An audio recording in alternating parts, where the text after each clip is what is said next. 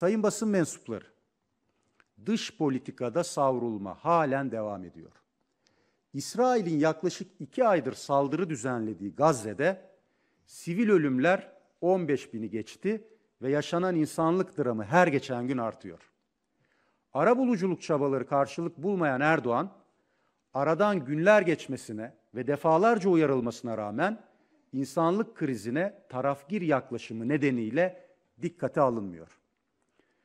Daha önce de belirttiğimiz gibi Türkiye ve dünya meseleyi uluslararası bir insanlık sorunu olarak ele almalı ve kalıcı barış sağlamak için gerekli adımları atmalıdır. İsrail yaklaşık iki aydır sivilleri Hamas bahanesiyle katlediyor. Hastanelere yapılan bombalar, bombalamalarda çoğunluğu kadın ve çocuklardan oluşan binlerce Filistinli hayatını kaybetti.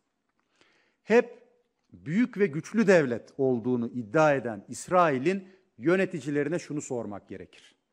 Büyük ve güçlü devlet doğruyu yanlıştan, haklıyı haksızdan, suçluyu suçsuzdan, masumu zalimden ayırt edebilen devlettir. Çocukları bombalarla öldürerek güç gösterisi yapan bir devlet güçlü değildir, olsa olsa acizdir. Ancak şunu da hatırlatalım.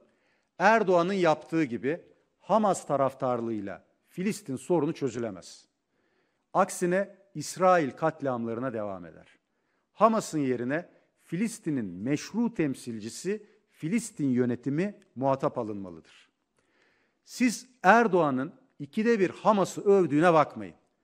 Erdoğan sadece Türkiye'de Hamas laf, Türkiye'de Hamas lafları bazı radikal kesimlerde prim yapıyor ve yerel seçim yaklaşıyor diye her zamanki gibi iki yüzlü siyasetine devam ediyor. Geçen yerel seçimde Sisi'ye mi oy vereceksiniz, Binali Yıldırım'a mı diye vatandaştan o istedi. 2024 Mart'ında da Netanyahu'ya mı oy vereceksiniz yoksa AKP'nin adayına mı diyerek seçim propagandası yaparsa kimse şaşırmasın. Halbuki İsrail ile ticaret hacmi devam ediyor. İktidar basın önünde yalandan birkaç laf söylerken Türkiye-İsrail ilişkileri hız kesmeden artarak devam ediyor. Hatırlayın, Cumhurbaşkanlığı seçimlerinde montaj videoları mitinglerde izletip sonra da aynı videolar için bir gencin kıvrak zekasının ürünü demişti.